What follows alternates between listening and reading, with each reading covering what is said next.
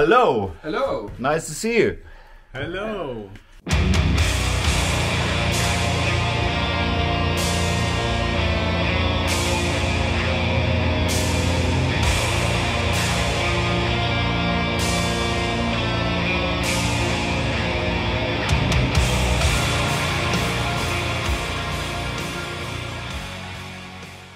Hi, my name is Roger. How are you doing?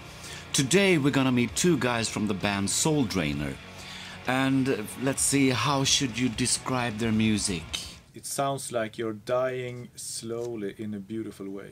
Yeah, there you have it. They're gonna show me around their studio and we're gonna talk a little bit of uh, music in general, how they write their song. And we get a couple of tour memories from Russia. It was really pleasant to meet them, so stick around. I also want to say thank you for watching my videos. I really appreciate it. If you haven't subscribed, please do. And if you like the video, hit the like button. If you don't like it, send me a message and let me know what I should do. I also have a competition going on, the Roger That Song of 2021 competition, where you can win the Handclap Studio plugin from Robotic Bean. Links are down below. Enough of me talking now. Let's talk to the guys in Souldrainer.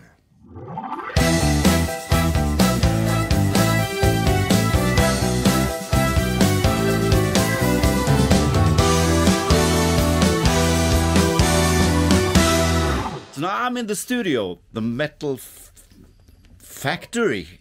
Uh, it will be in English, Metallfabriken in Swedish.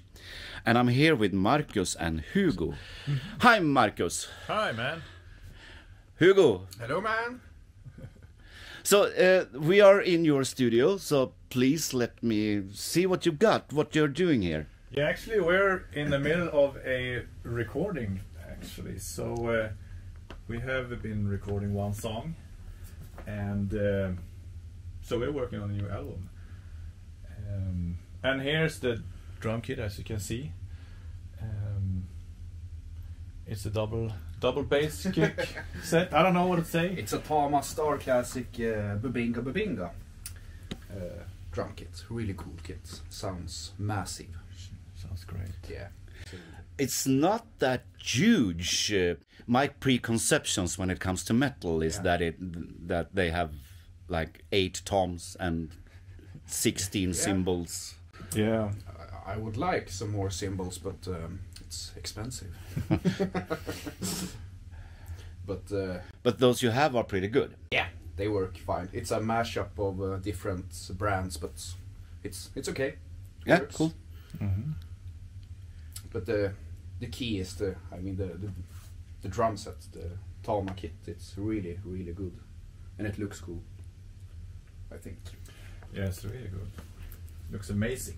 Yeah. Amazing. You mic it like nearly normal, I see, with the bass drum kick and snare mics, but you have some special thing on the toms. Yeah. Actually, here we have a, a microphone on top and on bottom. On the bottom also, yeah? Yes, uh, under the toms here. So, but they are connected to each other in the same cable. Uh, so, I don't know. It's it's to save channels and to have less options, because I am tired of all the options in the studio. So I'd like to commit early. So if I do it like this, put both microphones on the same channel, I can uh, I can't change it afterwards, and I think it's. Uh, it works all right. We get a bit more bottom, and I think they cancel out some uh, mid range together actually. Yeah. And the bottom cable is uh, phase inverted, of course. Have you chosen the mics for it, or have you just tried what you have and find the best solution for that? Uh, this time we took what we had actually, so uh, But it works. it works really well, and um, yeah, Audix microphones. Usually we have these these Audix mic- microphones on the the top shelves, um, but this time we chose those uh, Sennheiser 604s. I use the same ones myself. I think they are as close to a 421 as you can get, Yeah, right. but in a smaller package. I wish I had all all the microphones in the world, so so I could try them, but uh, unfortunately, No one have. no. No one have. Uh, and for the kick, we we usually use the D6, but uh, we found that this Shure Beta 52 works work much better today for our purpose. It's a little more Is rock it- and roll. Yeah, it, it has a little bit more punch, doesn't it? Yeah. The D6 is very round and uh, Scooped. scooped. Yeah. My experience with the D6 is that it works extremely good for live music. Yeah. If I want the skin attack, I choose another microphone in the studio. All right, cool. I think the D6 is more metal, but and that's kind of a contradiction because we play metal, and but it's it's a little too scooped for for our sound today. Okay. Uh, Hmm? The taste varies va- will vary every day, and we usually put this in the middle of the kick. On uh, you just lay it down on the on a pillow instead of putting it in the hole. Yeah. Are you triggering uh, them toms uh, and uh, snare and kick as well? Not on this recording actually. No. No. No, when we rehearse, we Are you the only metal band in the world that doesn't trigger the kick? Yeah, maybe. the only one. We're the first. No. what we have done on this recording actually was uh, we, we haven't uh, replaced any drums or triggered. it. So, but I have added a room uh, sound uh, Ah. in, in trigging uh, by trigging. Okay, cool. Uh, yeah, so that works works pretty well. Yeah, um, I mean, your room here isn't extremely small, but it's not a big room either. So, It's a very dead room. yeah. yeah. It's when you have a small room, I think it's better to do it dead, Yeah. actually. But there are a few other stuff in the in the room as well. Um, uh, you have some guitar amplifier with baffles here, Yeah. like big gobos. Yeah, and we actually heard um someone mention on uh, YouTube that on each uh, element cone, these are V30s, vintage 30 elements in this Marshall cabinet, and you have a glue glue dot on every cone, right? Because the cables are glued to the to the cone. Yeah. And if you put the mic right over that glue dot, you get less harsh sound. Oh, really? Yeah, it's. Uh, I didn't believe it either, but it actually works. So we have mic the glue dots, you have Mike the glue dots. and it sounds sound amazing. uh, because on metal, the guitar sound is so full of all the frequencies, kind of. Yeah, you you feel the spectra from 100 hertz to 10,000 hertz. Yeah. Uh, So it's more like a, a, a bruise, a Noise. noise. yeah. So if uh, and you don't want too much of that because uh, your ears will get fatigued re- really fast. So uh, yeah, And I presume that you expect the audience to listen to your music pretty loud, and then it can't be harsh as well. yeah, yeah, exactly. All uh, volume on eleven. Uh, you have a bass amplifier, an Ampeg 810, uh, at least a speaker. Yeah, correct.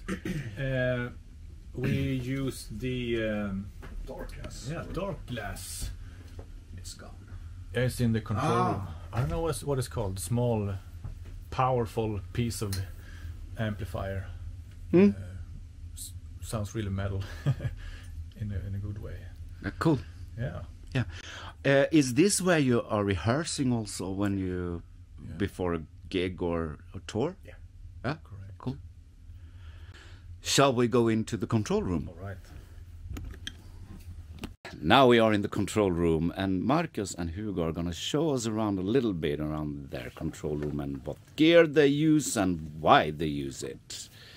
All right. So Marcus is sitting in the cockpit Yeah. of the control room. Yeah. So here, um, uh, let's turn to the the amplifiers. the amplifiers first. Yes, th- those are the the most important part of the. Uh, no, it's not, but it's great. We have um, the tap amps. This one is uh, our favorite. Huh? It's built in Sweden in Borlänge. Um, and uh, we have some classics. The 5150 is uh, a trusted workhorse Yeah, metal. powerful. Yeah, and a couple of Marshalls and a dime, a very strange dime bag transistor amplifier. Uh, sounds pretty cool too. And a Darkglass bass. Oh, that's the bass Yes. uh, thing. Microtubes 900.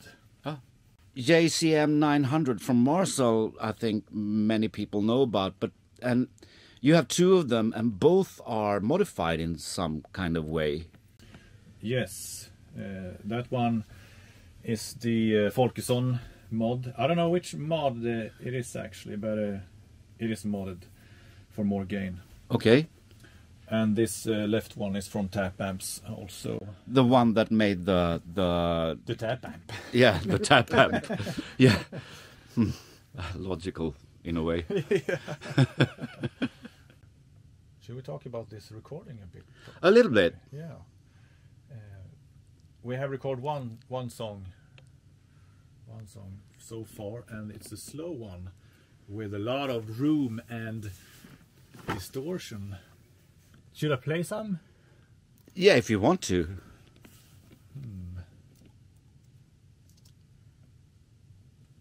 Oh, it's. Uh... There's a lot of uh, distortion and room in the drums.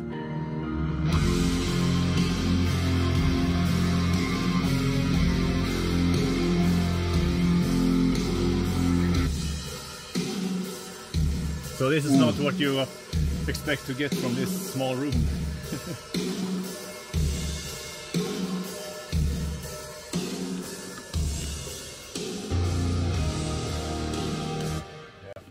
I don't know if you could hear that, but the bass drum was like, wow. Uh, it was huge and, and punchy at the same time, but there was like a distortion tail on the bass drum that I have had. I don't think I've heard that before. That's true. Uh, I was inspired by a producer called uh, Chad Blake. Oh, Chad Blake, Yeah. And Sansamp guy. yeah, exactly. Yeah. So uh, I actually ran the kick and snare, all the shells actually, the kick, snare, and toms through this uh, Sans amp. And uh, these are probably the settings as well, um, because I just did it a couple of weeks weeks ago. the Sansamp guy. Yeah, cool. and that works amazing. I also, I don't know, I, I've taken some kind of producer role in this, and I um, uh, I wanted to print the effects a, a- as well, you know, uh, reverbs and delays from uh, external boxes instead of using those uh, very pristine digital reverbs from the computer. So I uh, have actually used the Yamaha SPX 90 for chorus on the bass and on some guitars and a snare reverb also from the SPX 90. SPX 90 is pretty famous for its snare reverb. It sounds like you're throwing rocks in a container or something. Yeah, yeah, in a good way. Yeah. Let's see. This is a drum uh, distorted distorted drum track.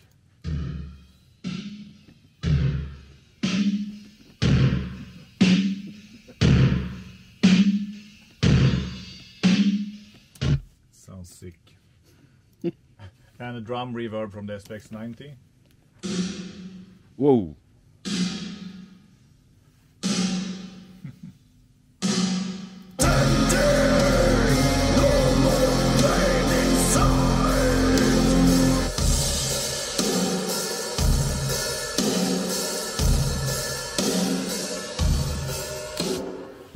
Cool. Yeah. Nice studio tour. Thank you for that. When did you start with music?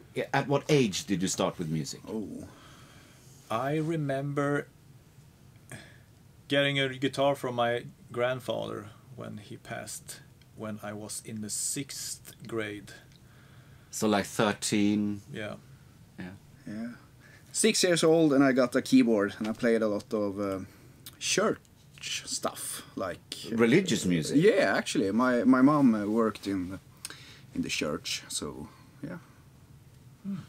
So uh, I'm actually a Seems pretty close to a death metal band. yeah. So Yeah. you're a Christian bastard.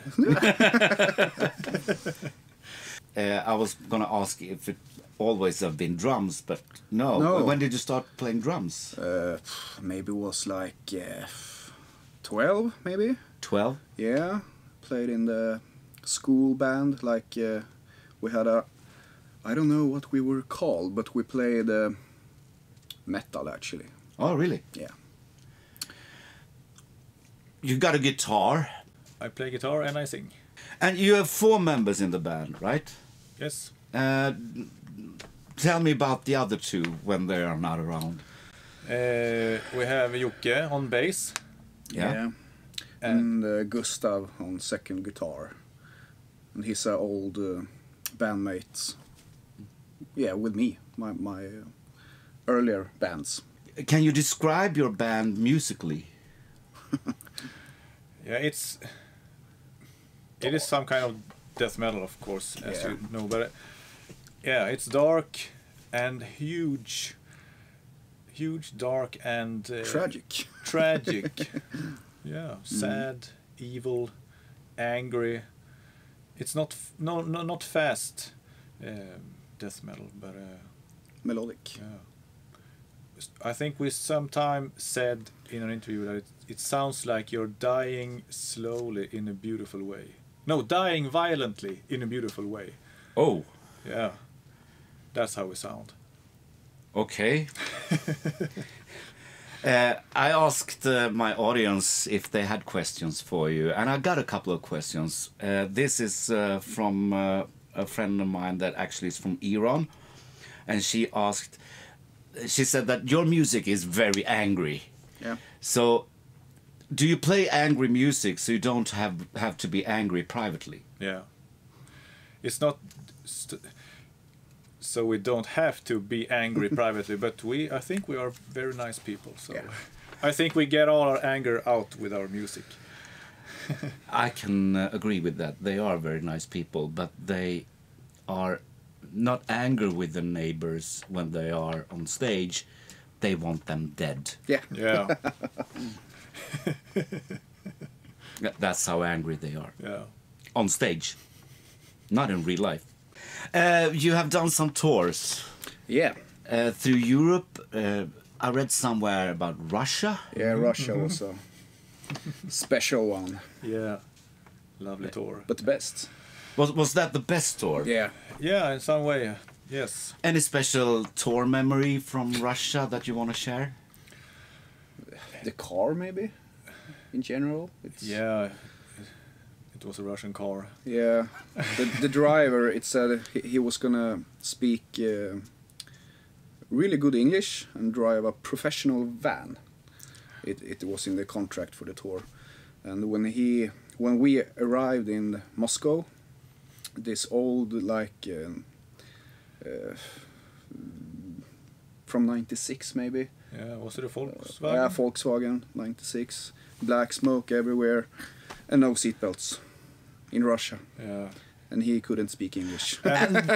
And we said that we we need seatbelts Yeah. because we want we were going 600 uh, miles. Oh, I mean 6,000 kilometers. Russia is a very big country, Yeah. so there are distances. And so we said we we really need seatbelts. Hello. Uh, no. Uh, uh, no problem. No, no, don't worry, Sayam. no, he said. so, no, but we we want seatbelts. No, no, no need. okay. Uh, okay, All right. Vodka Vodka. vodka. Save the, the tour. He was. I think he was a really great. He was the driver. really good driver, and he learned some English. Uh, Yeah. so it's, it's But the best memory from Russia in a happy memory is that the, the audience, the people, was Yeah. so grateful to see to see us. Oh, really? I have never been so touched by talking to them, and because after the show they come came to us and uh, explained how much they loved us and music, and uh, it was the best concert they've been to in their life, and and it was small clubs and. Uh, yeah, they were so grateful. Someone was w- tearful, you know, and emotional and wanted to show pictures and gave give us photos from he went home to bring photos and give them to, to us and yeah, it was amazing So the conclusion is that you are rock stars in Russia. yeah Fe- felt like that. no, but uh, you've also toured around Europe uh, a bit. Is it all over Europe, Northern Europe, maybe? mostly, Mostly east East Europe. Mostly East Europe. Poland Yeah. Czech Czech Republic Germany. Is the style of music very popular in those countries, or I think so yeah Yeah, Poland. Especially. yeah I think Poland I ha- we have our best fans in Poland probably Yeah. okay? um, I think they they appreciate this kind of music you know Yeah. if you don't have yeah I think so Okay. How do you write your songs? Usually it's me and Gustav. The other guitar player. Yeah, who play guitar. And uh, when I write a song, I do it at home on my computer with programmed drums just to get some riff done. And um yeah, lay out some kind of basic or sometimes it's it's a complete song. And then we come here and listen to it and try some real drums on it or yeah. But how much input do you have on those songs, Hugo? Uh, pretty much, I would say, because I'm the drummer. It's.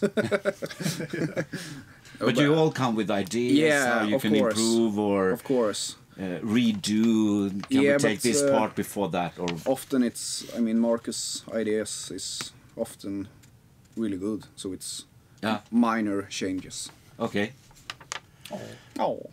But can I say that it starts with either a song or at least an idea from one one of you, uh, and you all sort of build it, the last pieces together as uh, to or Yeah, that sounds pretty much how it Yeah. works. Yeah. yeah.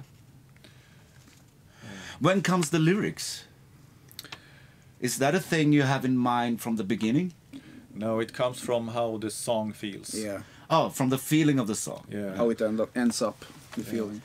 and usually they sound like someone is dying, so it's pretty easy to to go that way in the lyrics. Yeah. Just a moment ago, you said that you play death metal, but it's very melodic. Yeah. And I agree, but the melodic part is in the guitars or maybe the bass line or even maybe sometimes in the synths that you you have. yeah. It's not in the vocals like the vocal have a metal melody. Vocal is more More rhythmic. yeah, it's more it's more of a timing thing. Percussive. Yeah. Yeah.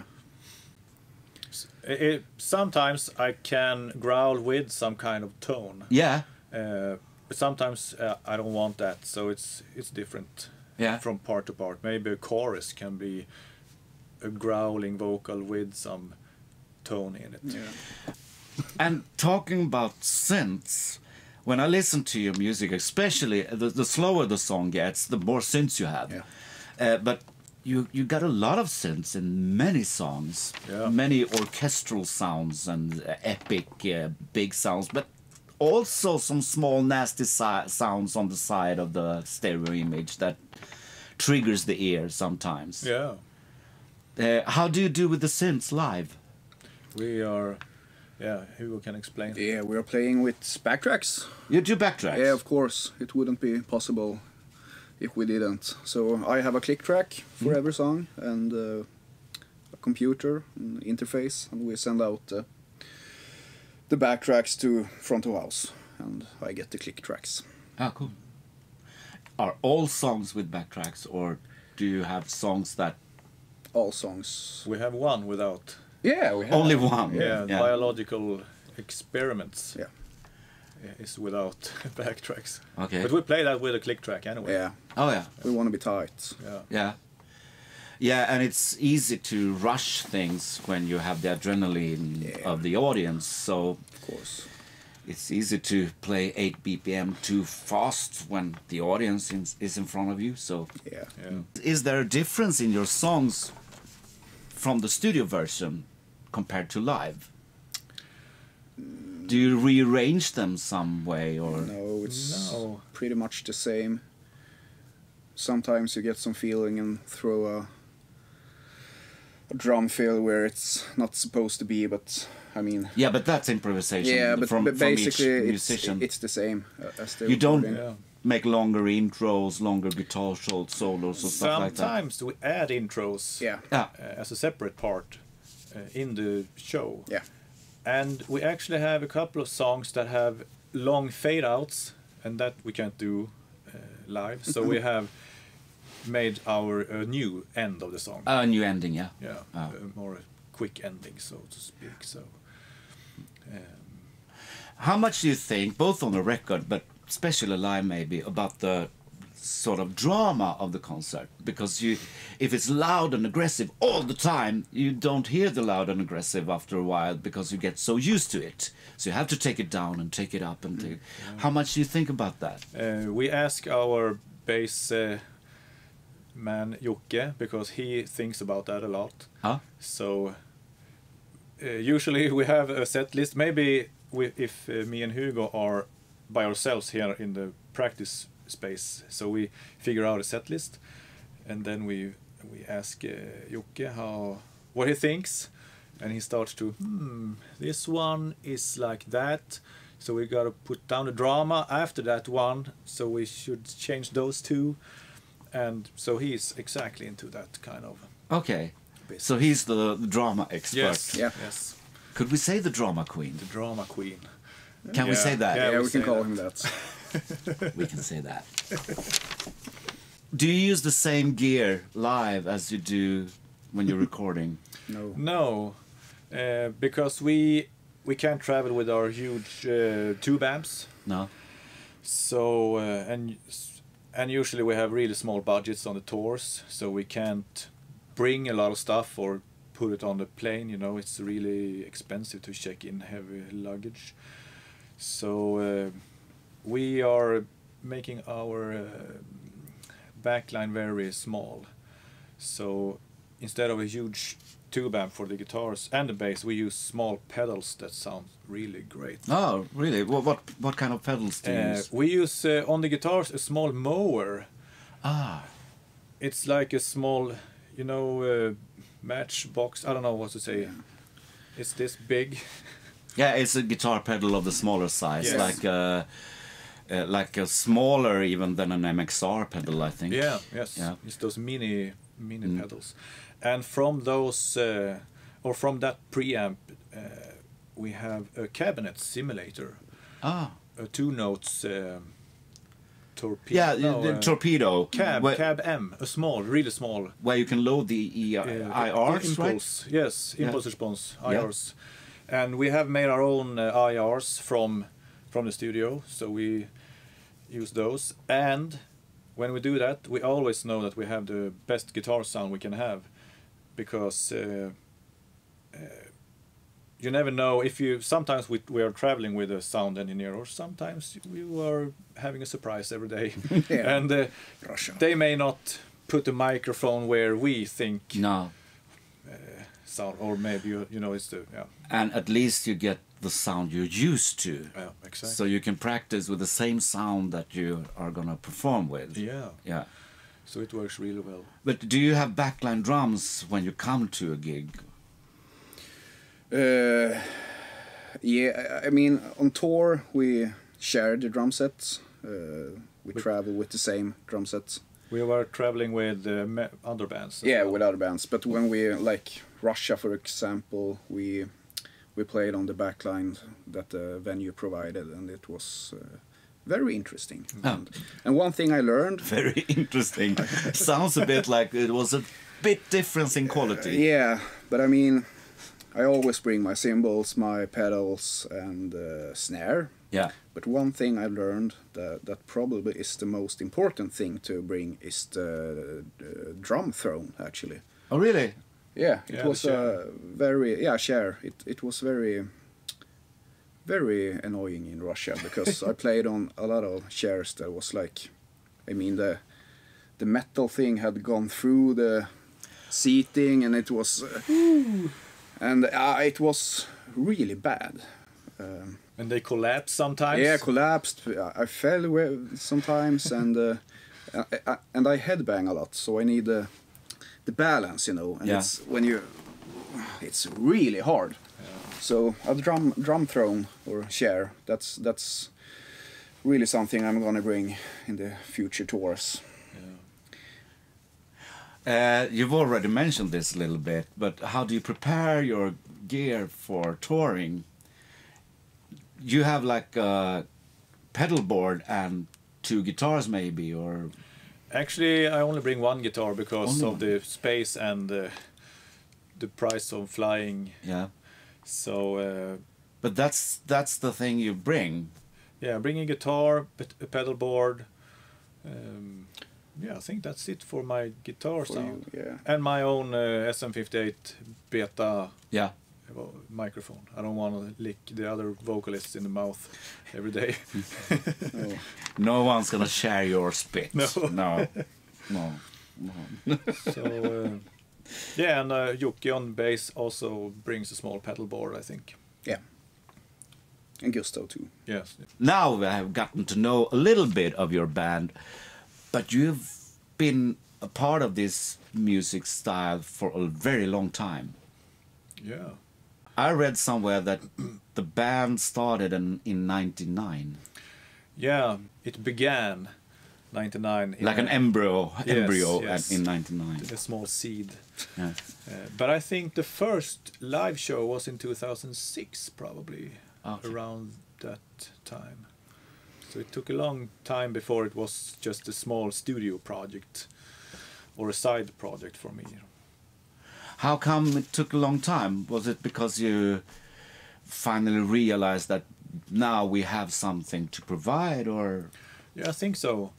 Because I was in '99, I was uh, doing some kind of uh, studio education here in town, yeah, and uh, I just wanted to record some a song for just for doing something in the studio. So I uh, made up a band that would play slower than my main band at that time. okay, Um, that band is, was called Chastisement. It's no longer active, and uh, so I liked it. And I wrote a couple of more songs. I think maybe four, and uh, recorded that. But then we started to talking like maybe we should try to play this live. It would be fun. Yeah, right. So we got a more a five-piece band, and we played live back then in 2006 or Oh. four. 2006, I think. how long have you been part of the band? Since 2013, I think. So seven years. Yeah, Yeah, time flies. time flies. No, six years because 2020 doesn't count. No. no, no. Let's forget that year. Do you listen to other kinds of music? Oh yeah, Yeah, I do. yeah. yeah. Want to tell me? And in what situations do you listen to other kinds of music? I mean, all the time. I, I, I, don't mostly listen to metal. Actually, I, I listen to a lot of. I don't know what to call it. I mean, Nine Inch Nails. I like Coldplay. I like. I mean, it's. I don't know, but All but the- kinds of rock and pop music. yeah, Jack, yeah. If if I like it, I like it. But but the metal is always there. I mean, Ah, and okay. it's. Yeah, but I, yeah. How is it? Um, for me, that is not a metal fan uh, the same way as you are. I appreciate it, and I, I sort I can see the skill and passion that's gone into your work. I have, for me, trouble listening to metal when I'm listening to a record, but I love to go and see it live Yeah. uh, to feel that energy and, and so i- is is that the same way? Could it be the same way with other genres for you? Yeah, I think so. I, I think I appreciate the feelings or the the emotions of a I don't know Anna Ternheim or uh, You can listen to classical choir live, but maybe you sh- don't listen to it on a record, for Yeah. example. Yeah. yeah yeah exactly yeah I think that's important.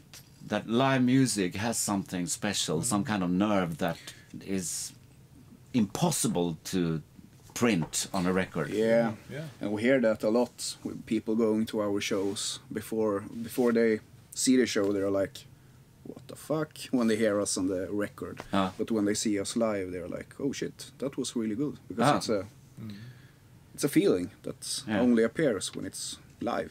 It's it's real. yeah Yeah. This is not a full time job for you, uh, No. the studio work and the band. But we can say nearly it's a part time job because it's sort of little more than a hobby. Yeah. yeah yeah yeah Yeah. Um, you work as a software programmer or something, yeah that's correct and you work uh, as a sound engineer and and and technical advisor, Yeah. sort of, at a theater. Yep.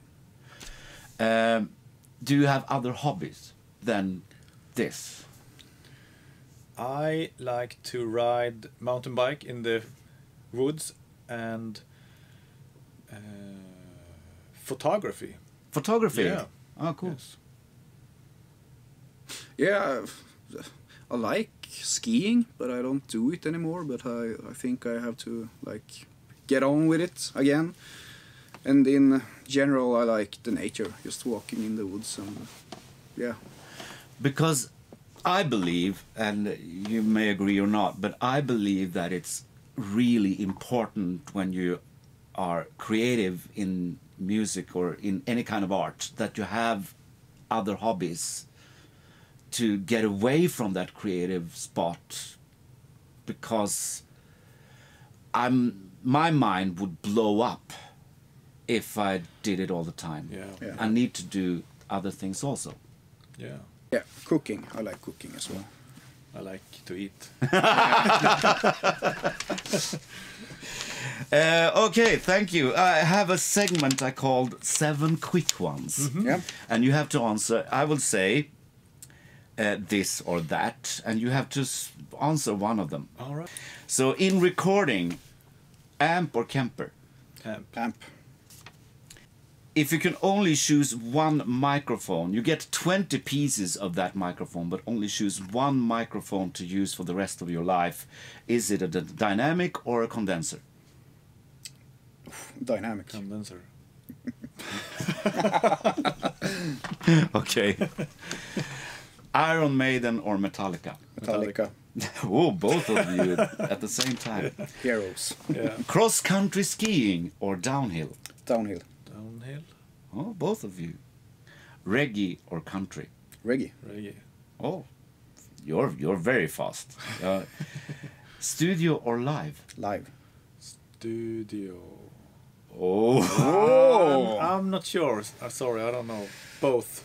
I like studio. okay. I stick with studio. And the last one. In the tour bus, music or silence? Silence. Silence. So, what is the Swedish word of today? Kärlek. Yeah. Which means, Love. and say it once again in Swedish. Kärlek. Love. Roger that. Roger that.